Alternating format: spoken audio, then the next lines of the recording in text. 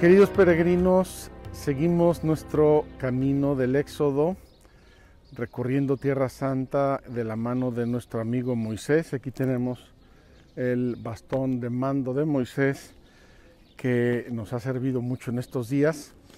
Y llegamos hoy a un lugar y a un tema impresionante en la Biblia. Estamos en el templo de Karnak, en Luxor, un templo majestuoso, impresionante, del que esperamos darles algunas imágenes.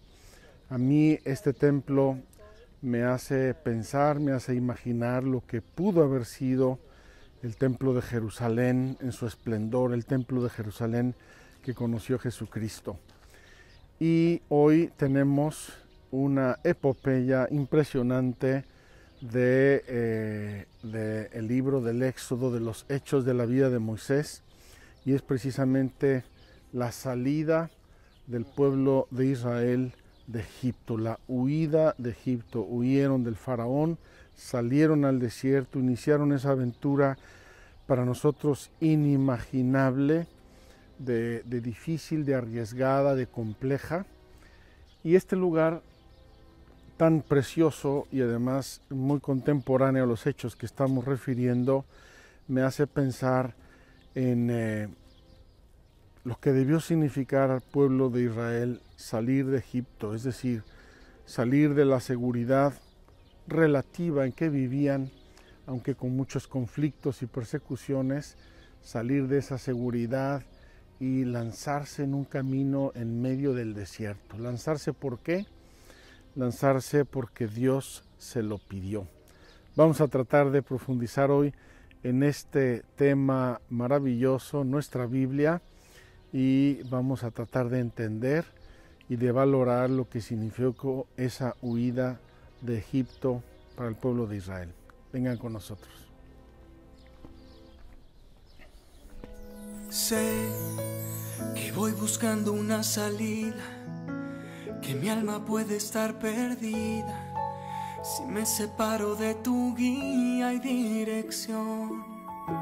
Sé que esta vida es un camino para hallar la salvación.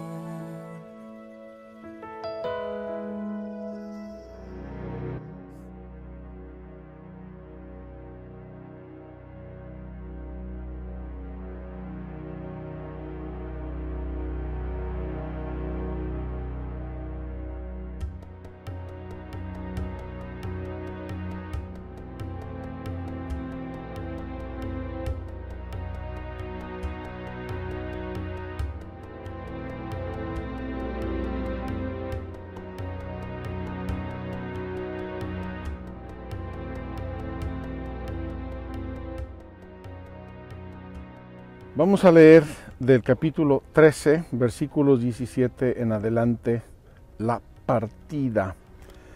El término éxodo significa propiamente la partida, la salida. Exodus, un camino que parte de un lugar y sigue para otro. Queridos amigos, dice así la partida, el éxodo. Cuando Faraón dejó salir al pueblo, Dios no los llevó por el camino de la tierra de los filisteos, aunque era más corto. Pues se dijo Dios, no sea que al verse atacado se arrepienta el pueblo y se vuelva a Egipto.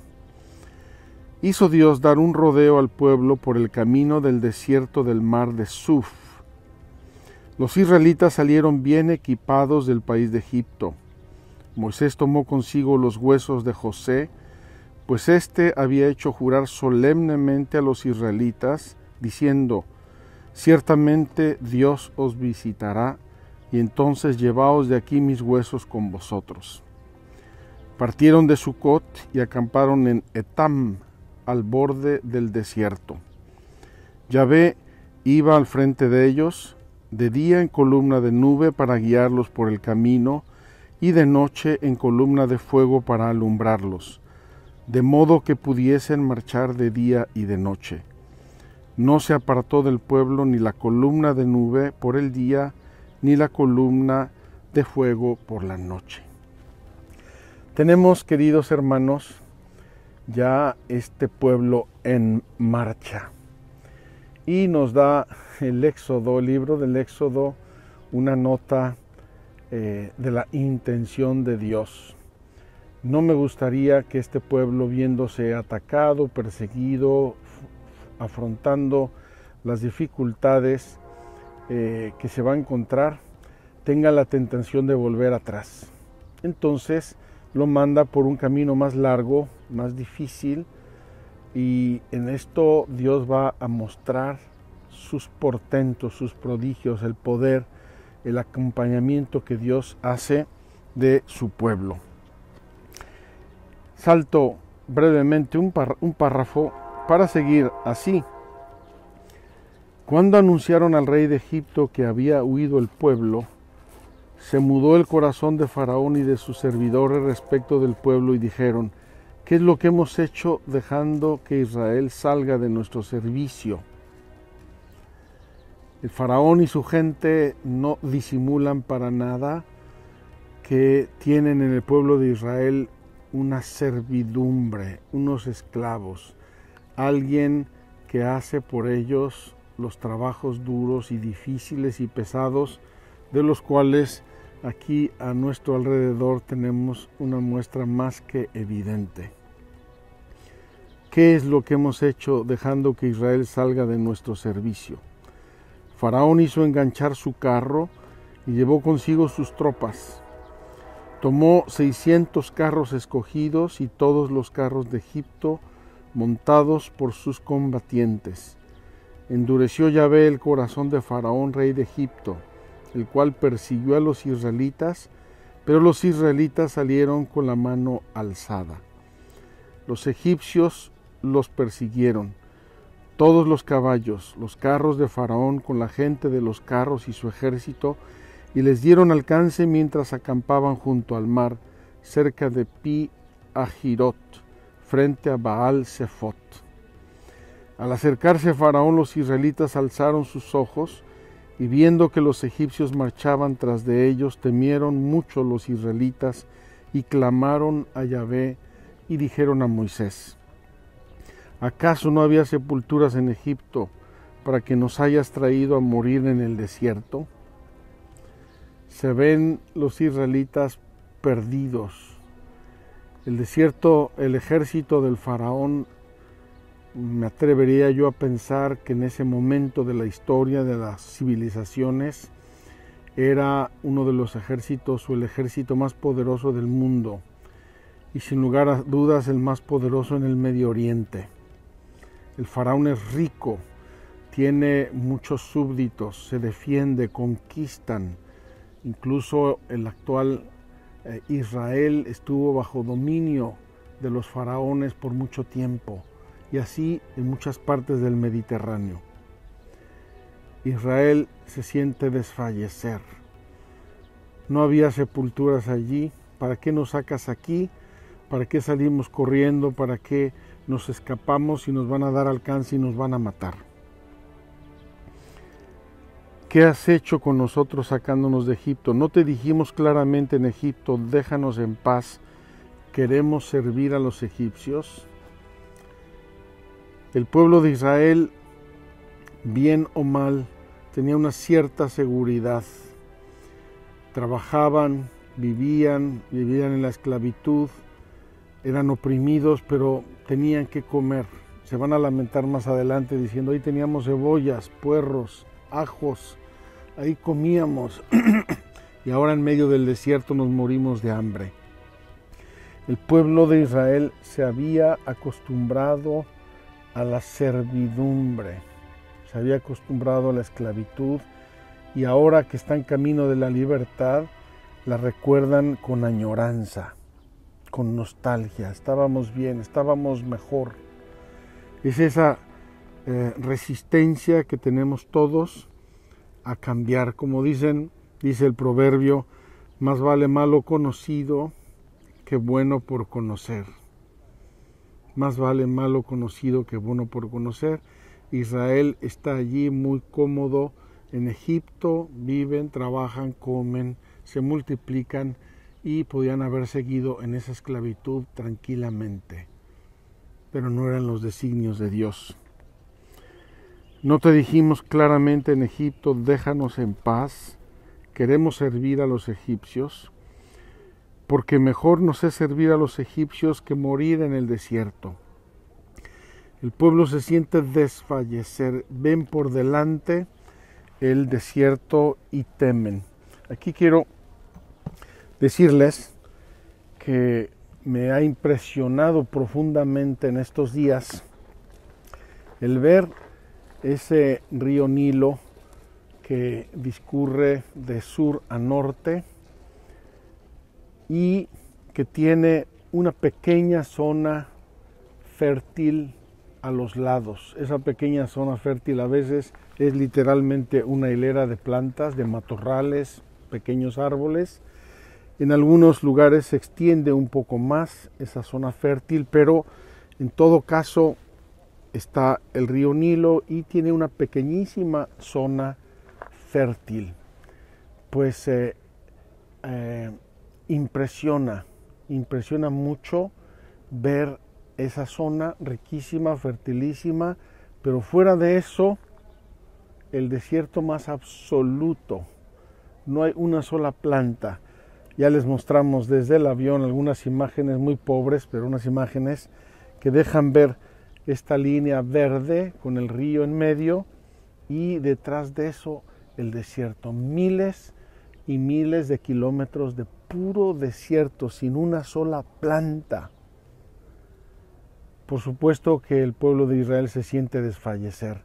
Tienen por delante eh, el desierto, la nada, el vacío total y están dejando detrás esa zona maravillosa del río Nilo, esa seguridad que tenían en sus vidas y en sus corazones. Contestó Moisés al pueblo. Aquí me impresiona nuestro amigo Moisés. Las evidencias son claras. Las evidencias son claras. El desierto por delante, la aridez absoluta, el sol incandescente, falta de agua, falta de comida detrás el Egipto seductor. Ahí Moisés, como enviado de Dios, toma la palabra. No temáis, estad firmes y veréis la salvación que Yahvé os otorgará en este día, pues los egipcios que ahora veis no los volveréis a ver nunca. Yahvé peleará por nosotros, por vosotros, que vosotros no tendréis que preocuparos. Y aquí viene esta epopeya gigante de la historia de la humanidad, el paso del Mar Rojo. Me parece casi estar viendo una película maravillosa, increíble, eh, de estos hechos que el hombre ha tratado siempre de pintar, de imaginar, de eh, poner en escena. Vamos a ver qué nos dice el paso del Mar Rojo. Dijo Yahvé a Moisés, está el pueblo rebelde, llorando, lamentándose, dijo Yahvé a Moisés, ¿por qué sigues clamando a mí? Di a los israelitas que se pongan en marcha, y tú alza tu callado, extiende tu mano sobre el mar y divídelo, para que los israelitas entren en medio del mar a pie enjuto, que yo voy a endurecer el corazón de los egipcios para que los persigan, y me cubriré de gloria a costa de Faraón y de todo su ejército, de sus carros y los guerreros de los carros. Sabrán los egipcios que yo soy Yahvé, cuando me haya cubierto de gloria a costa de Faraón, de sus carros y de sus jinetes. Se puso en marcha el ángel de Yahvé que iba al frente del ejército de Israel y pasó a retaguardia. También la columna de nube de delante se desplazó de allí y se colocó detrás, poniéndose entre el campamento de los egipcios y el campamento de los israelitas. La nube era tenebrosa y transcurrió la noche sin que pudieran trabar contacto unos con otros en toda la noche. Moisés extendió su mano sobre el mar y Yahvé hizo soplar durante toda la noche un fuerte viento del este que secó el mar y se dividieron las aguas.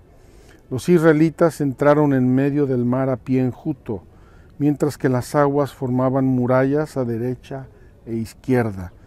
Los egipcios se lanzaron en su persecución, entrando tras ellos en medio del mar todos los caballos de Faraón y los carros con sus guerreros.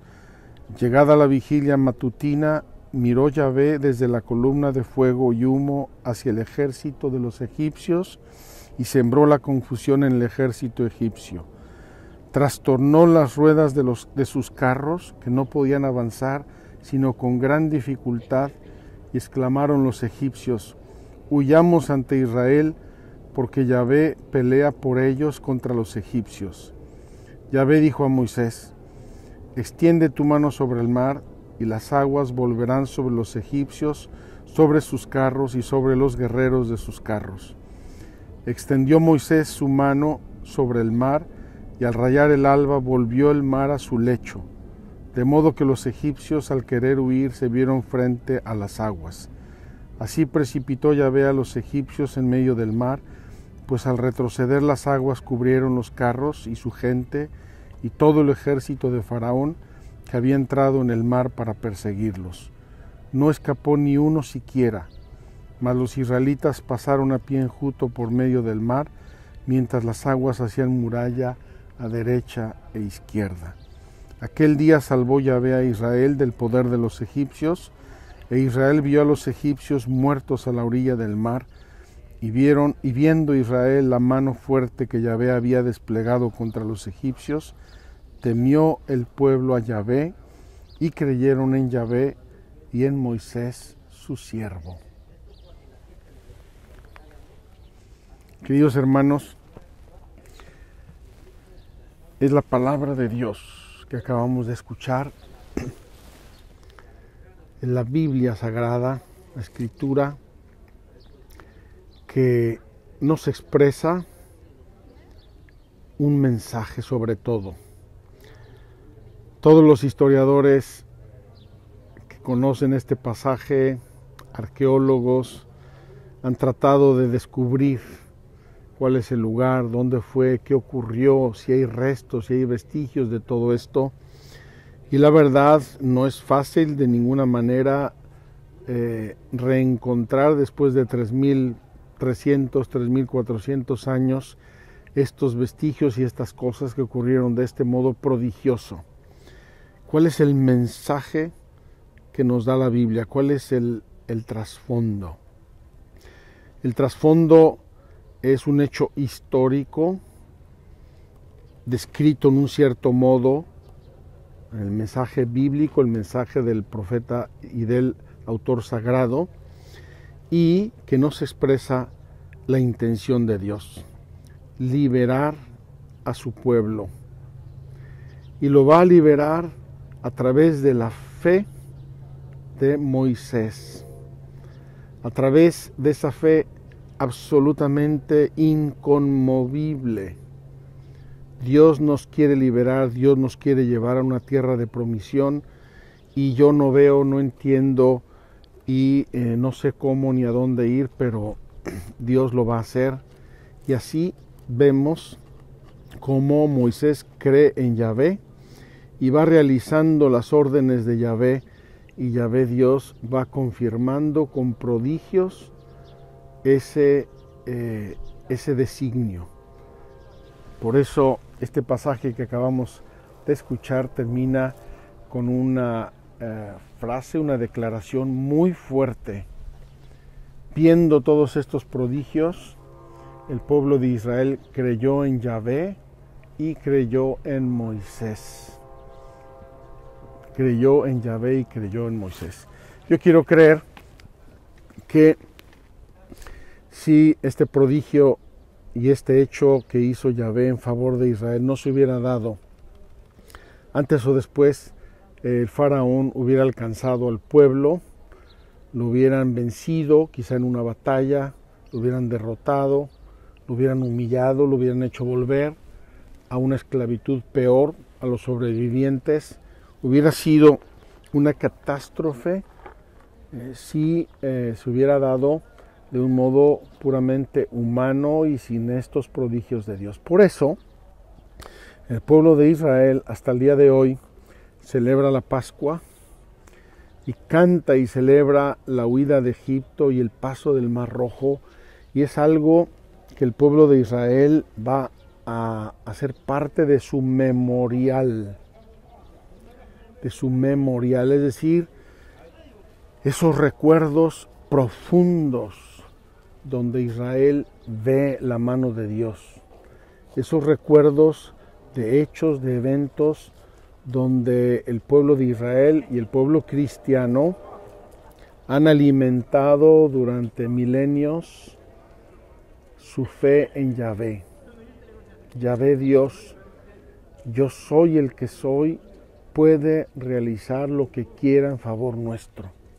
Y así, en la historia de la humanidad sabemos que hechos históricos, hechos naturales, eventos naturales, cantidad de cosas han ido influyendo en los destinos del pueblo, del pueblo de Dios, de los santos, de los que creen en Él, de los que lo aman.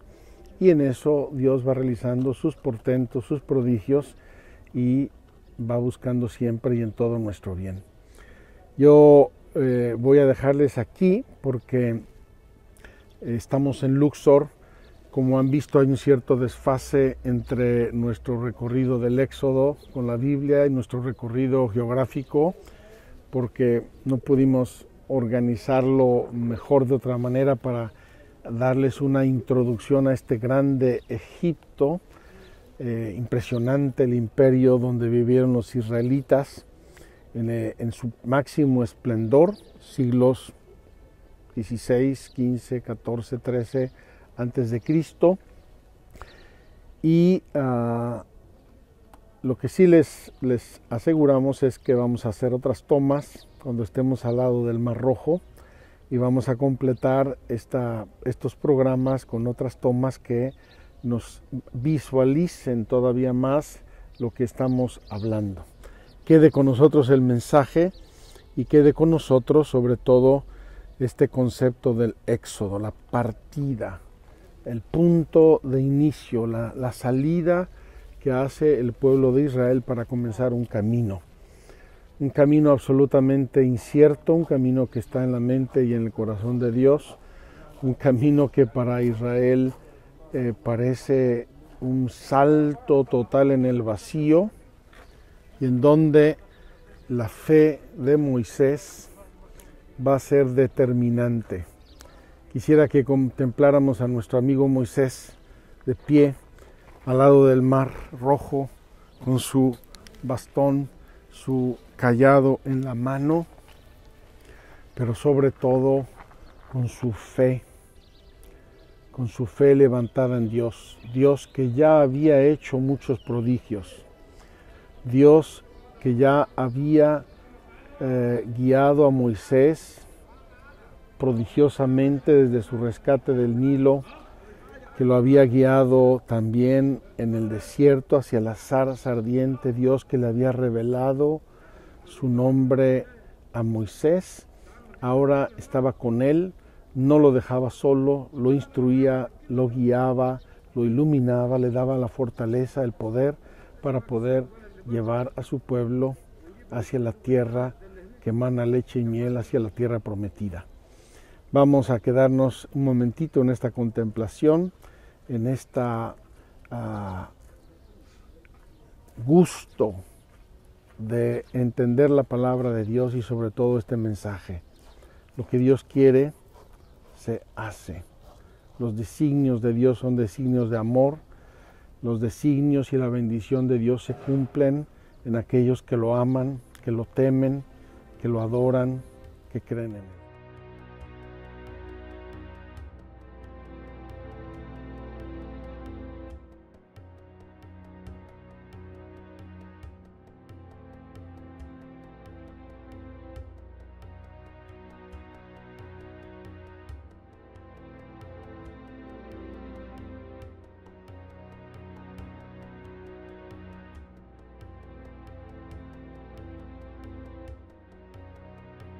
Queridos peregrinos, eh, no podíamos haber escogido un lugar mejor para hablar de esta catequesis, donde vamos a hablar de la moralidad de los actos humanos y también, si nos da tiempo, la moralidad de las pasiones, porque en este muro que vemos aquí detrás están representadas batallas de los egipcios contra sus enemigos y sus esclavos. Ahí se ven los carros del faraón, sus guerreros, nos da una idea bastante precisa de lo que debió ser esa batalla o esa eh, conato de batalla entre los egipcios y los israelitas. Queremos seguir hoy y voy a recapitular como siempre para que no nos perdamos el hilo. La dignidad de la persona humana está enraizada en su creación a imagen y semejanza de Dios. Dios nos creó sus hijos amadísimos y nos creó personas, seres racionales y libres. Se realiza su vocación a la bienaventuranza divina, es decir, nos hizo Dios para Él, para la felicidad perfecta, para vivir en Él. No podemos eh, contentarnos con luciérnagas los que conocemos el sol. Corresponde al ser humano llegar libremente a esa realización y hablamos de la libertad humana como el hombre puede elegir entre el bien y el mal y el mal y Dios quiere que elija el bien y por sus actos deliberados la persona se conforma o no se conforma al bien prometido por Dios y atestiguado por la conciencia moral. Y es aquí donde estamos en este momento. El ser humano tiene una tarea, la tarea de construirse, la tarea de hacerse un ser a la medida de Dios.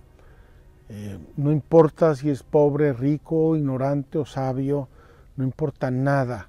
Dios nos hizo, eh, nos, nos puso en el corazón una brújula, como hemos dicho, una imagen, una brújula que nos lleva, que nos encamina hacia Él, hacia la verdad, hacia el bien, y es ahí donde entran nuestros actos deliberados. La persona se conforma o no se conforma al bien prometido por Dios y atestiguado por la conciencia moral. Los seres humanos se edifican a sí mismos y crecen desde el interior, hacen de toda su vida sensible y espiritual una materia de su crecimiento. Ahí estamos en este momento y vamos a hablar de la moralidad de los actos humanos. Y hablé ayer de la distinción entre acto de hombre, como el dejar unas huellas, acto de hombre como cosas que no implican para nada mi conciencia, mi libertad, mi racionalidad. La digestión es un acto de hombre, la digestión del ser humano es un acto de hombre. Yo no puedo decir a mi estómago párate o sigue o interrumpe la digestión. No puedo decirlo porque no depende de mi inteligencia y de mi voluntad ni de mi libertad. Vamos a ver qué nos dice el catecismo. La libertad hace del hombre un sujeto moral. Estamos ahorita en el campo de la moral, tercera parte del catecismo. Cuando actúa de manera deliberada, el hombre es, por decirlo así, el padre de sus actos. Son mis actos. Yo lo quise, yo lo hice porque quise. Con esto yo me edifico. Los actos humanos, es decir, libremente realizados tras un juicio de conciencia, son calificables moralmente, es decir, son actos buenos o son actos malos. Es el hombre, a través de su libertad, que cualifica unos actos buenos y unos actos malos. Y hay tres fuentes de la moralidad de los actos. Vamos a ver cuáles son. El primero es el objeto elegido, es decir, eh, cuál es el objeto de mi acto, qué hago, qué dejo de hacer. No se refiere objeto material, sino el objetivo de mi acto moral. El segundo es el fin o la intención con que lo hago, el fin o la intención con que lo hago. Y el tercero son las circunstancias de esa acción.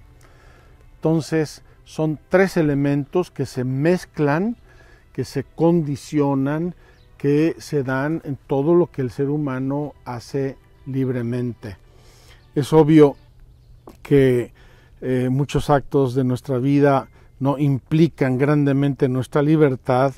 Hay actos que son decisiones que tenemos que ponderar, que madurar, que reflexionar mucho, porque eso sí van a condicionar, van a determinar nuestra vida. Eh, que yo me levante por la mañana y desayune huevos fritos en vez de cornflakes no va a cambiar la historia de la humanidad. Que yo estudie una carrera o estudie otra, eso sí va a cambiar mi vida. Que yo eh, compre un bien o que venda un bien, va a cambiar, va a comprometer mi vida. Que yo inicie un viaje a un sitio, a otro sitio, probablemente va a cambiar mi vida, va a cambiar algo importante de mi, de mi experiencia humana. Entonces, el objeto elegido, el fin que se busca o la intención y las circunstancias de la acción. Estas tres fuentes constituyen la moralidad, eh, son los elementos constitutivos de la moralidad de los actos humanos. Vamos a mencionarlos muy brevemente porque el tiempo es el que es. Primero el objeto. El objeto elegido es un bien hacia el cual tiende deliberadamente la voluntad. Me llamó la atención cuando estaba preparando mi catequesis que dice un bien. ¿Cómo es que hay personas que eligen males, cosas malas? Es porque nuestra mente se equivoca. Nuestra mente se equivoca y las toma como si fueran buenas las toma como si fueran buenas. Vamos a ver algunos condicionamientos de esto. Yo creo que eh, seríamos tontos si hiciéramos cosas malas deliberadamente, con toda conciencia, sabiendo que las hacemos haciéndonos un grande mal. Hay a veces condicionamientos, lo vamos a ver adelante.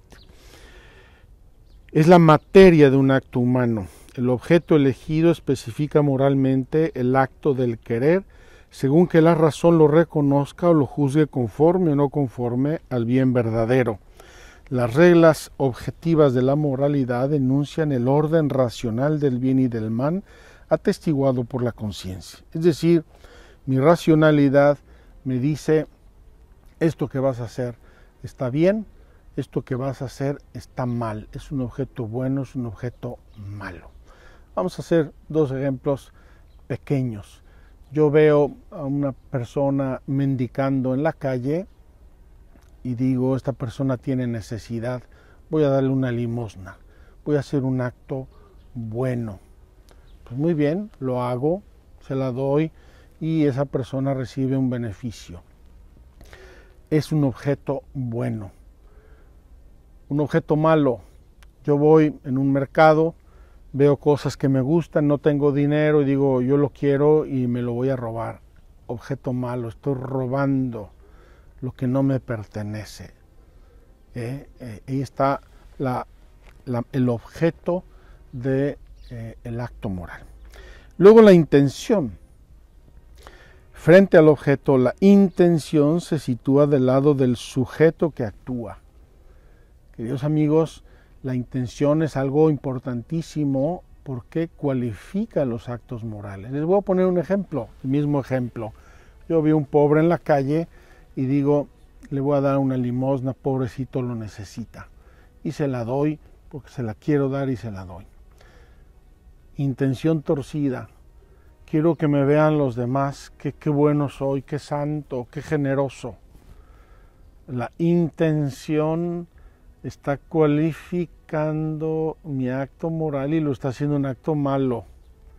La limosna en sí misma es buena, el, el pobrecito se va a ir con un pedazo de pan en la boca, pero yo estoy haciendo un acto subjetivamente malo. Lo hice para que me vieran. Quería yo que me sacaran en las redes sociales. Eh, me interesaba salir en el periódico o que se comentara lo bueno que soy. La intención, el objeto y la intención. Y finalmente, las circunstancias, las circunstancias. Comprendidas en ellas las consecuencias son el objeto secundario de un acto moral. Lo importante, lo más determinante es el objeto y es eh, la intención, pero también las circunstancias. Voy a poner un ejemplo de lo que venimos diciendo. Yo eh, estoy en un lugar extranjero y ah, me roban mi cartera, me quedo sin dinero y me estoy muriendo de hambre. Probablemente esa circunstancia haga que el hecho de que yo me robe un pan sea menos grave que si lo hago por deporte. Me gusta robar, soy medio cleptómano y entonces eh, todo lo que me gusta me lo robo y me lo guardo. Queridos hermanos, las circunstancias. El matar sabemos que es gravísimo siempre, siempre la vida no se puede tocar, la vida es un don de Dios, depende de Dios. Pero si yo estoy en guerra, mi país está en la guerra, yo tengo que defender a mi país y tengo que obedecer eh, y buscar el bien común de mi país y mato en la guerra. No es lo mismo matar por malicia que matar por defenderse. Son circunstancias que cambian obviamente y cualifican el acto moral. Entonces, los actos, eh, estos tres elementos se mezclan, se interconectan para cualificar la bondad o la maldad de mis actos. Eh, este tema sé que requeriría toda una lección de moral o muchas lecciones de moral. Tenemos que hacerlo de un modo muy sencillo, muy simple, espero que les ayude. El siguiente artículo nos habla de la moralidad de las pasiones y tengo que hacer tengo que hacer una pequeñísima introducción y espero que esto les ayude. Pónganme atención porque eh, encuentro a muchas personas a veces sufriendo en su conciencia moral sin justificación. El ser humano tiene diversos niveles, sus componentes son de diversa índole. Hasta arriba está la razón y la voluntad la razón y la voluntad. Luego sigue la conciencia, la razón, la voluntad y la conciencia me hace una persona libre y me hace una persona responsable de mis actos humanos. Luego sigue una, otro nivel del ser humano, humano, es un nivel precioso, es importantísimo, pero están debajo. Y son las emociones, los afectos y las pasiones. Y luego sigue nuestra parte corporal y biológica.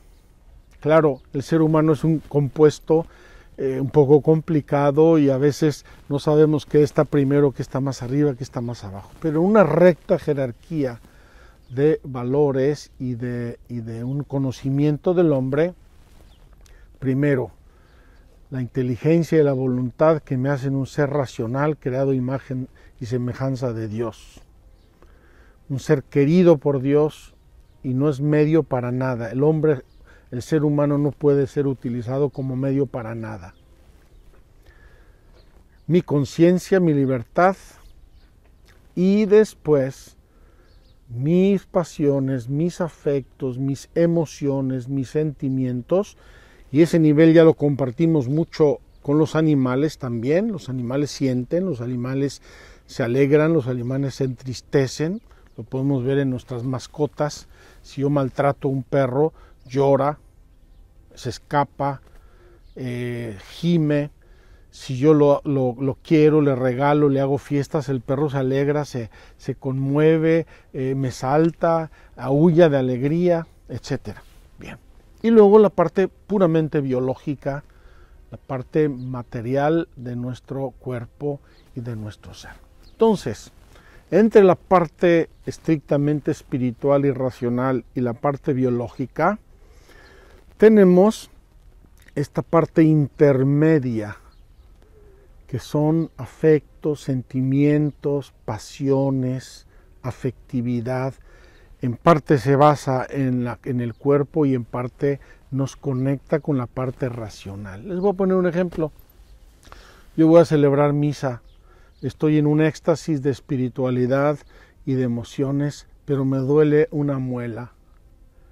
Tengo un sentimiento de dolor y por lo tanto estoy fastidiadísimo. Soy una persona libre, súper libre, tengo un alma preciosa, pónganle todos los moños que quieran, pero el dolor de muela me, baja, me baja el nivel y me pone en un nivel, en, en ese nivel entre la relación entre mi cuerpo y mi alma. Bien, una brevísima introducción, una lección de antropología. ¿Qué pasa a veces en la vida moral? En la vida moral frecuentemente confundimos entre el sentir y el consentir. Confundimos entre el sentir y el consentir. El consentir es un acto libre, implica mi inteligencia, implica mi voluntad. El sentir está en este segundo nivel de la persona humana. Y yo no puedo decirle a mi cuerpo, hoy siéntete feliz, hoy te sientes cansado, mañana quiero sentirme enojado. Eso frecuentemente no depende de modo directo de nuestra inteligencia y de nuestra voluntad. A veces hay personas un poco caprichosas, de, ah, estoy enojado, y hacen finta de que están enojados. Ese segundo nivel, solamente de modo indirecto, depende de nuestra inteligencia y de nuestra voluntad, pero nunca de modo directo. Entonces, tenemos este nivel intermedio. Yo a veces puedo encontrar gentes que dice, yo, eh, por ejemplo, eh, siento enojo contra una persona. Lo siento, yo no puedo decirle a, mi, a mi sensibilidad, no sientas. Yo siento enojo. ¿Eso quiere decir que le estoy haciendo un mal a la persona? Cuidado. Siento o consiento. Siento o consiento. Les voy a poner un ejemplo que pasa muchísimo en el campo de la moral y es el tema de las tentaciones contra la castidad y la pureza. Yo me siento atraído por una imagen. Vamos a suponer, veo una imagen pornográfica y me revuelve un poco ese nivel intermedio. Me lo revuelve, ¿por qué? Pues porque soy una persona normal. ¿Quiere decir que estoy pecando? No, yo pecaría, haría un acto moral si yo consiento. El sentir no es un pecado, el sentir no cualifica mis actos de modo directo en la moral. Si yo lo consiento, si yo lo hago conscientemente, libremente, entonces sí, estoy consintiendo. Y estamos en la parte de la libertad inteligencia, voluntad, conciencia, libertad. Yo espero que este tema les aclare muchas cosas porque yo encuentro tanta gente eh, afligida en su vida porque sienten algo. Claro, cuando yo siento algo me sale de dentro y yo tal vez no puedo distinguir realmente lo que yo estoy deliberadamente queriendo y lo que yo estoy sintiendo de modo espontáneo. Pero la diferencia es muy grande, es abismal. En un campo está mi libertad, mi decisión, y está implicada mi inteligencia y mi, y mi, voluntad, y en el otro campo no está implicado, lo siento porque así es el cuerpo humano, porque así es la sensibilidad, así son las pasiones. Estoy enojadísimo con un hermano mío porque me dijo una palabra fea, porque me quitó una cosa, porque me chocó mi coche. Y estoy enojadísimo. Yo siento enojo, siento enojo, nivel intermedio. Mientras yo no lo consienta, no he llegado a un acto moral, moralmente imputable, es decir, no he hecho una cosa buena o he hecho una cosa mala, simplemente lo he sentido.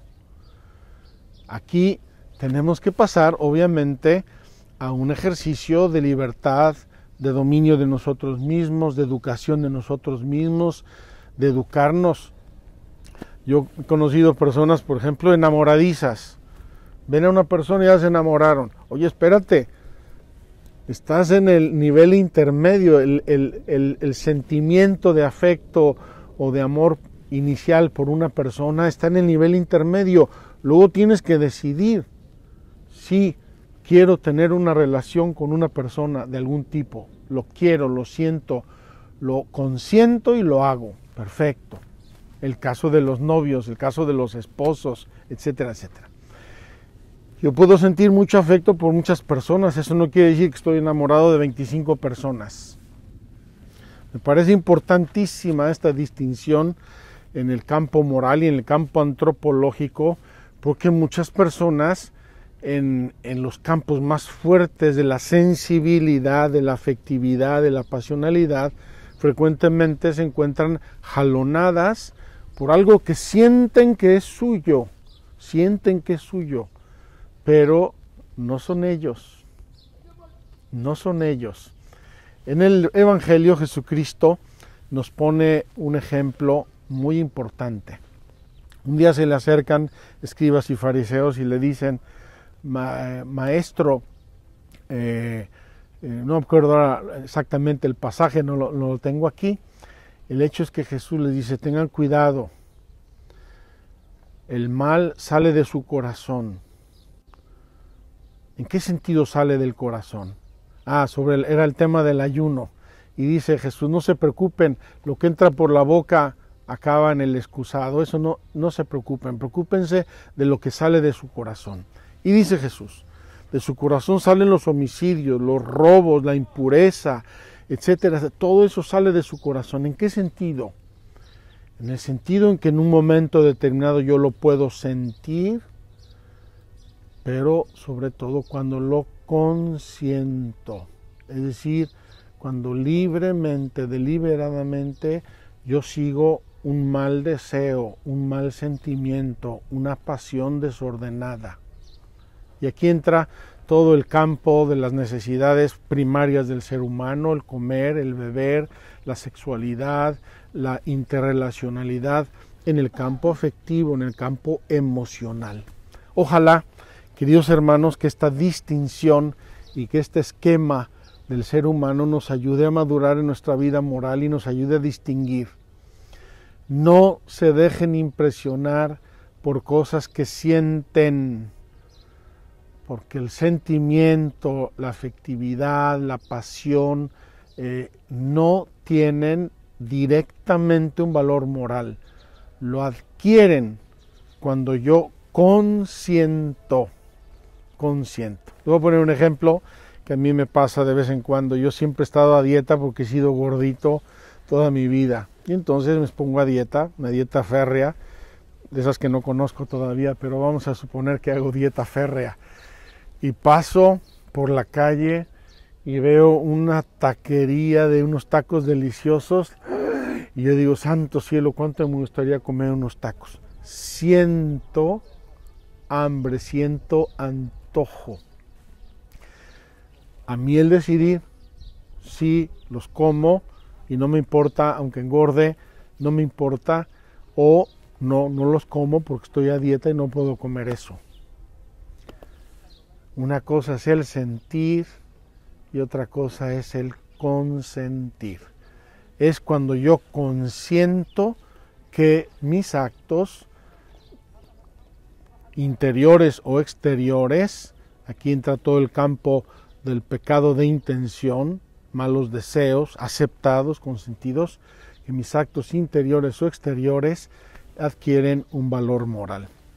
Y termino esta explicación, ya me separé del catecismo, pero lo tengo muy claro porque es del día a día de mi vida sacerdotal. Cuando nosotros decimos el yo pecador en la misa, decimos yo pecador me confieso ante Dios Todopoderoso y ante vosotros, hermanos, que he pecado mucho de pensamiento, palabra, obra y omisión. ¿En qué sentido? En el sentido que lo he consentido, lo he aceptado. Yo no debo confesarme de que tengo malos pensamientos si yo no los acepto.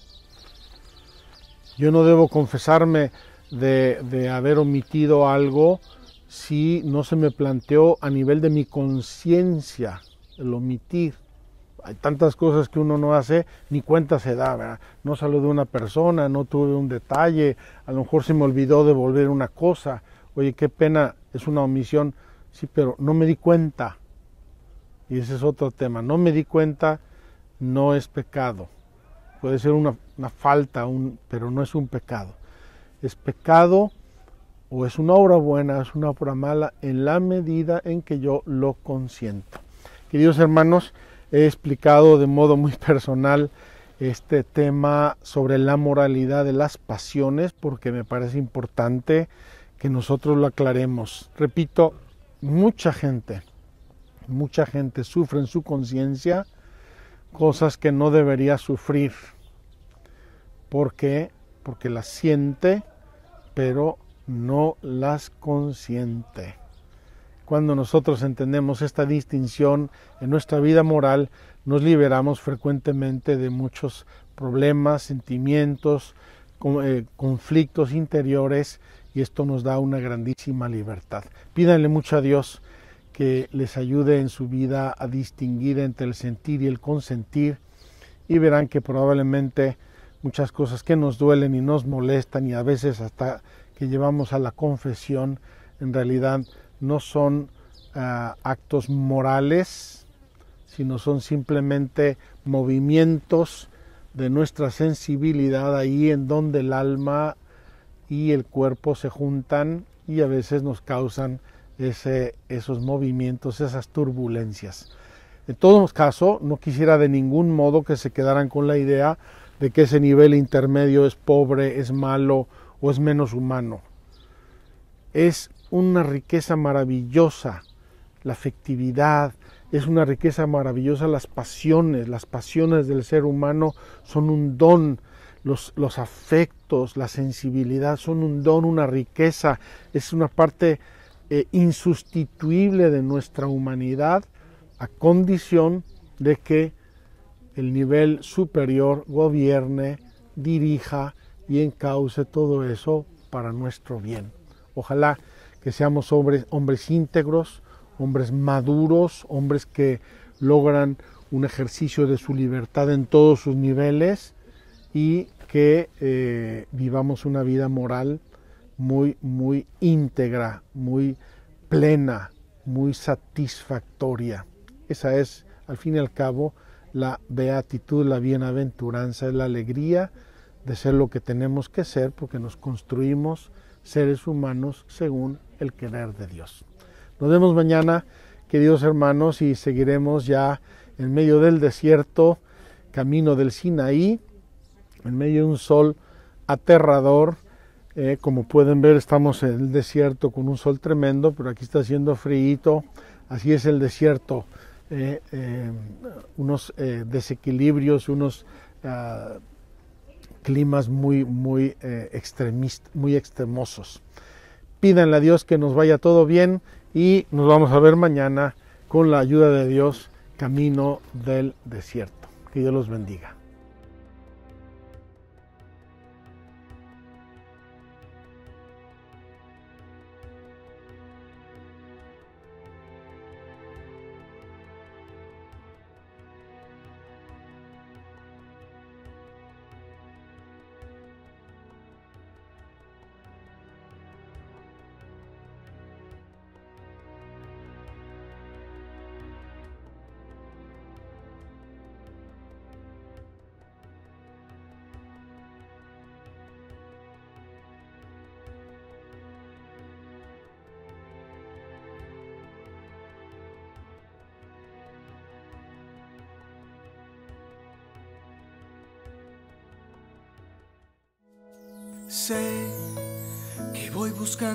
Salida, que mi alma puede estar perdida si me separo de tu guía y dirección.